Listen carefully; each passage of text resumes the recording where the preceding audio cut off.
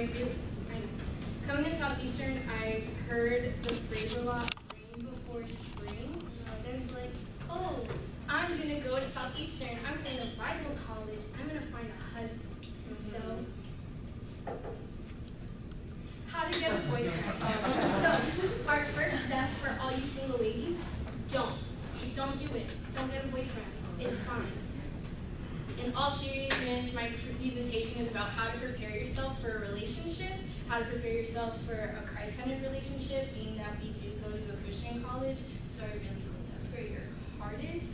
Um, so what really inspired me to do this was I was having a conversation with my roommates and they were talking about, oh, I'm so slept on, like it's so annoying being single and it's cold outside, where's my man? And then the one girl who has a boyfriend is it's still fine, God's gonna give you your boyfriend. And I'm like, sis, I've been waiting. I've been waiting. Where is he? Because I've been faithful, you know what I'm saying? Yeah. So, guys, I know I've been like really projecting myself for the ladies, but you know, we're like, where's my godly woman at? Like, I want someone I can bring home to my mom. Like, I'm tired of all these girls. They act one way with their friends, and now they're over here and they're acting a mess in front of my mom. You want a godly woman? Let's become a godly man. So these are the steps on how to do that. First step, stop looking for them, bro. Stop looking for your your woman of God, your man of God. Um, I put my favorite man of God, Justin Bieber. and his recent wife, Hailey Baldwin. Love you, Justin. So in Genesis 24, we talk about um, Abraham sending his servant to find his um, to find his son a wife, right?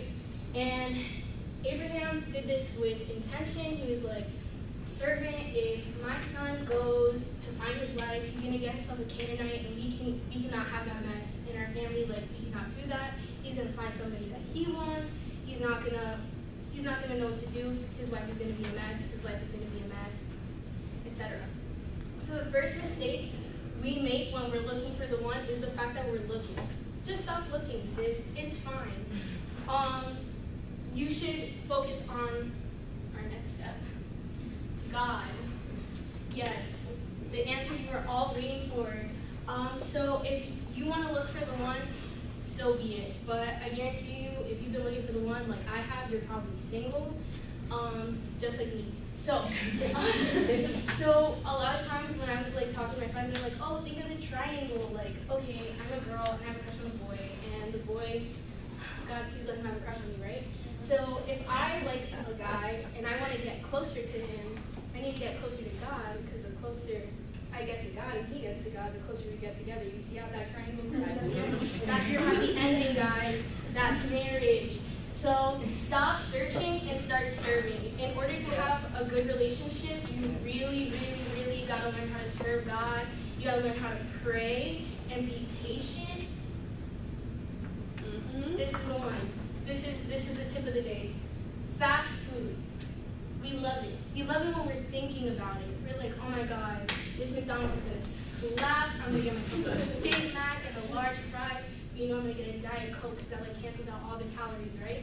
So you're like, wow, that's gonna be so good. We crave it and we crave it and then we eat it. And it's like, wow, that was really gross. I'm actually very disappointed. I should have gotten that. Should have gotten the salad. It's unhealthy a lot of us, we jump from fast food relationship to fast food relationship, and we're like, I don't understand why this isn't working out.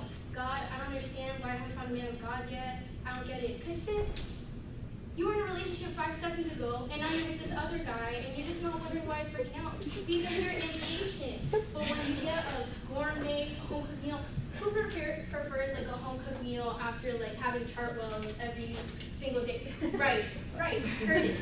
So your love life should be like a gourmet home cooked meal. It's gonna take a lot of patience, it's gonna take a lot of time, a lot of waiting, because you know when you're at the restaurant and you're sitting and you just order yourself a steak and then like the waiter keeps coming around with the food that you think is yours, you're like, that's mine, right? No, patience. Be worth it. You'll get to enjoy it and savor it and appreciate it. And it's healthier when you take your time in relationships and actually get to know the person. It tends to be super healthy. Um, little bit of my testimony, I was always a fast food person.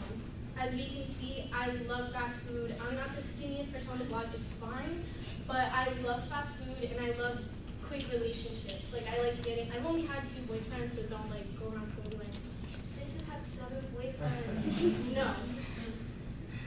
No.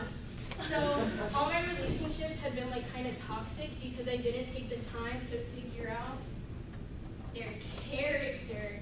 But so instead of focusing on what you want in your other person, focus on what that another person might want in you. Who does God want you to become? Because I guarantee you that you're gonna be like my sis Rebecca if you really start paying attention to that. So what made Rebecca so special when the servant was looking for Isaac, which is Abraham's son, in case you aren't too tuned up on your Bible knowledge?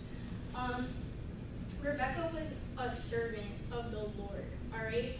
She was she would go to the well, and so the servant was sitting there, he's praying like, God, just let her bring like water for me and my camels. So Rebecca shows up and she's like, oh my God, sir, do you want some water for you and your camels? Answered his prayers, right?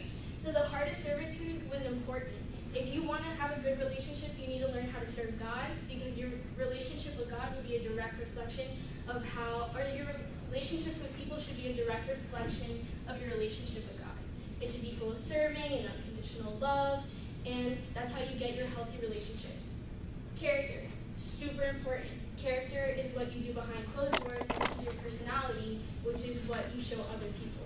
So that's something to pay close attention to because your personality might be compatible with someone else. That's great.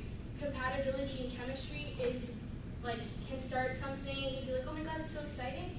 But character is the difference between a fling and a relationship. So just pay attention to that.